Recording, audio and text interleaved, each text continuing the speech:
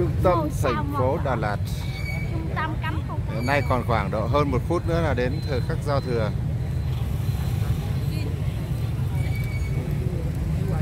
đã có thấy sao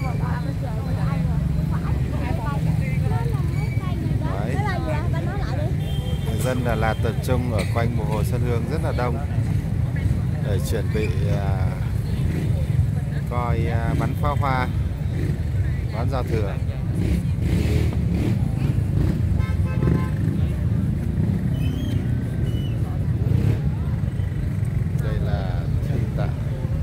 Thủy.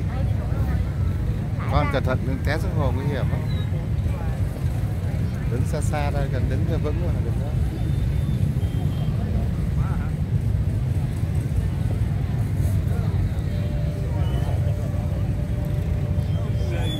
mấy phút nữa mấy phút nữa chuông đánh rồi đến giờ rồi chuông chuông nhà thờ đánh rồi rồi yeah đó tới giờ rồi. Đứng đây đẹp quá.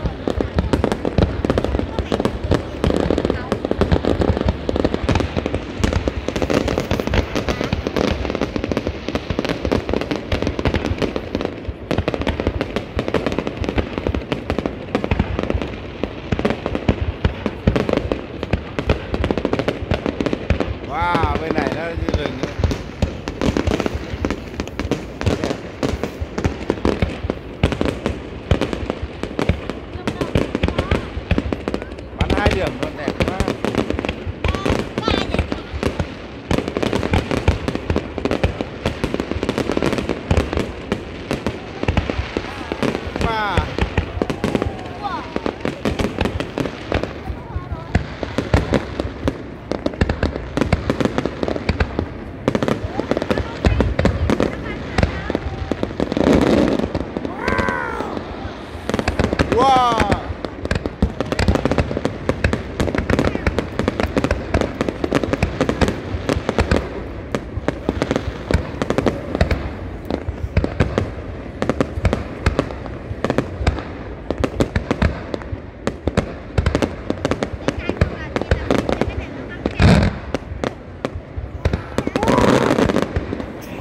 Quá đẹp à. Wow.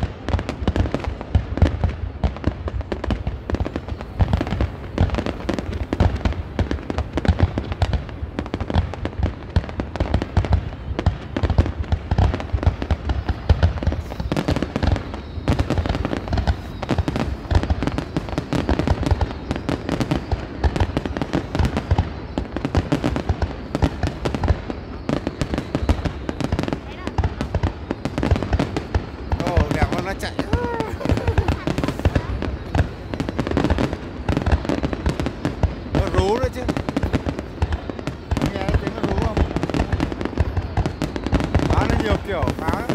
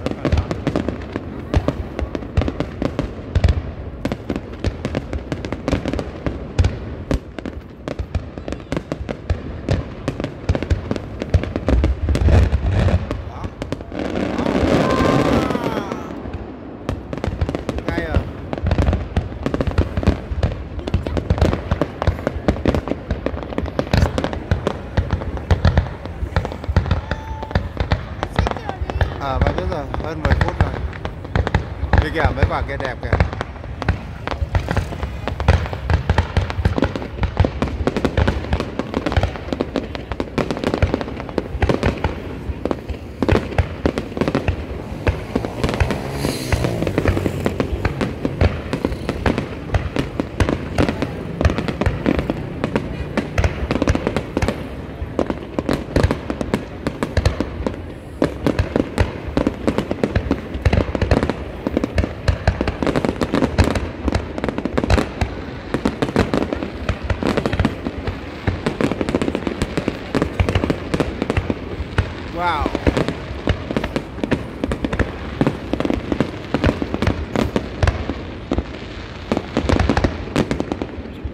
Được trời luôn!